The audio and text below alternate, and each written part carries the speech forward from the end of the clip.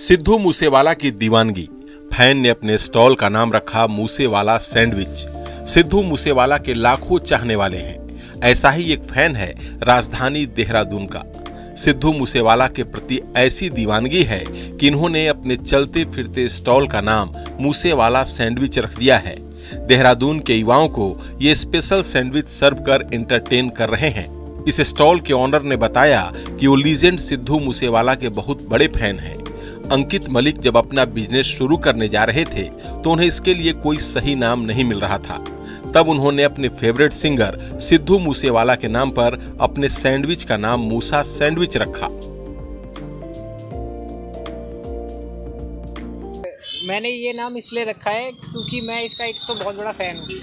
और हमें वैसे भी कुछ और नाम अच्छा सा मिल नहीं रहा था तो मैंने और मेरे पार्टनर ने सोचा कि एक मूसा सैंडविच करके हम पहले सोच रहे थे सिद्धू करके रखें या फिर कैसे रखें तो इस वजह से फिर हमने सोचा कि मूसा सैंडविच रखें तो हमने औरों से भी कंसल्ट किया कि ये वाला कैसा लग रहा है तो सबसे सबने यही बोला कि यार बहुत अच्छा है, हम कर सकते हैं इसको।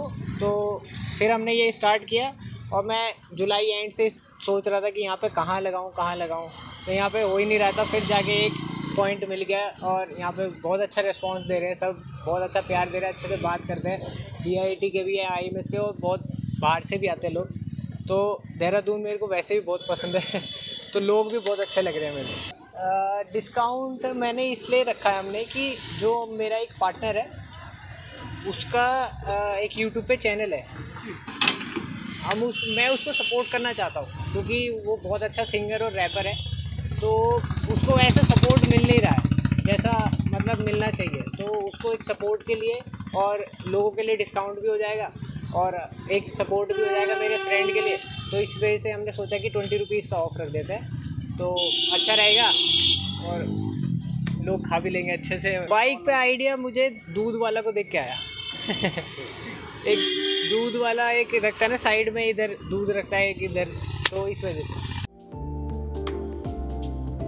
उन्हें सिद्धू मूसेवाला की लोकप्रियता का भी भरपूर फ़ायदा मिल रहा है, क्योंकि मूसा सैंडविच का नाम देखकर और सिद्धू मूसेवाला की फ़ोटो उनके स्टॉल पर देखकर कॉलेज के युवा यहाँ रुकते हैं और उनके स्पेशल सैंडविच का मज़ा लेते हैं। वो सौ रुपए का सैंडविच स्टूडेंट्स को अस्सी रुपए में बेचते हैं। इस सैंडविच पर वो बीस रुपए का डिस्काउंट भी दे रहे हैं। अगर कोई इनके दोस्त का यूट्यूब चैनल भी सब्सक्राइब करे, तब मैंने पहली बार कल खाया यहाँ पे सैंडविच और सैंडविच ना एक नंबर है मतलब बहुत ही बढ़िया सैंडविच है। और मतलब तारीफ़ कर नहीं सकता मतलब ऐसे में। और स्टूडेंट के लिए स्पेशल डिस्काउंट भी है। मतलब भैया को कोई चैनल वगैरह भी है, अगर आप सब्सक्राइब वगैरह करते हो तो आपको शायद ट्वेंटी रुपीज़ का डिस्काउंट मिलता है उस पर। और बाकी आप ट्राई कर सकते हैं, बाकी अच्छा सैंडविच है काफ़ी।